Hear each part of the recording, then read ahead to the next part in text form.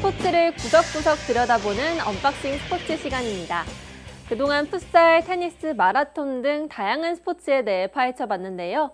사실 대부분이 외국에서 시작된 스포츠입니다. 오늘은 스포츠 인 시간에 국궁을 보고 온 만큼 우리나라의 전통 스포츠에 대해 unboxing 해보려고 합니다. 다른 스포츠에 비해서 우리나라 전통 스포츠에 대해 잘 모르는 분들이 많은데요. 제가 unboxing 해드릴 테니까요. 잘 기억해뒀다가 주변에 많이 알려주세요. 서양의 활쏘기가 양궁이라면 우리나라의 전통 활쏘기가 바로 국궁입니다. 양궁은 과녁판 어디를 맞추냐에 따라 점수가 달라지는데요. 국궁은 과녁판 어디를 맞춰도 명중입니다. 양궁의 사거리는 50에서 90m로 꽤 먼 거리인데요. 국궁의 사거리는 145m나 됩니다. 제가 실제로 가서 보니까 정말 멀리 떨어져 있더라고요. 이렇게 화살이 멀리 날아갈 수 있는 이유는 바로 활의 탄력성 덕분인데요. 양궁의 활이 직선에 가깝다면 국궁의 활은 S자에 가깝습니다. 부속 장치들이 달려있지 않아서 더 가볍기도 하고요. 그래서 활의 크기가 더 작은데도 월등한 힘을 가진 겁니다. 이 활 덕분에 막강했던 몽골 전사들도 겁을 낼 정도였다고 하는데 양궁 종목 메달을 휩쓰는 우리 선수들의 활쏘기 실력 오래전부터 증명되어 온 것 같죠? 이크에크 독특한 기합 소리가 특징인 태권도 있습니다. 전통 스포츠답게 선수와 심판 모두 한복을 입고 참여하고 동작 명칭들이 품밟기, 활개짓, 발따귀 등 순우리말입니다.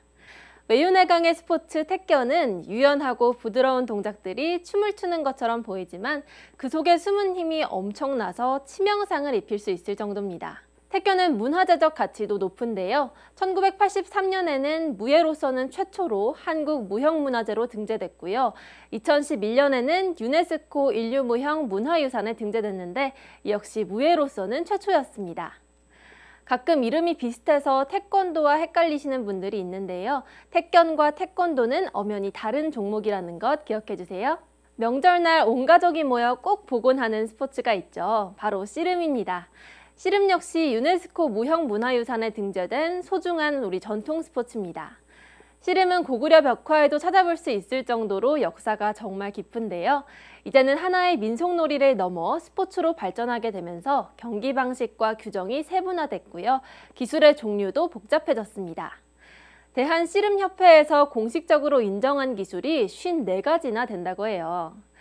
외환위기 당시 프로팀이 해체가 되면서 한동안 인기가 식는 것 같았지만 최근 들어 유튜브를 즐기는 2030 세대를 중심으로 다시 폭발적인 인기를 얻고 있습니다.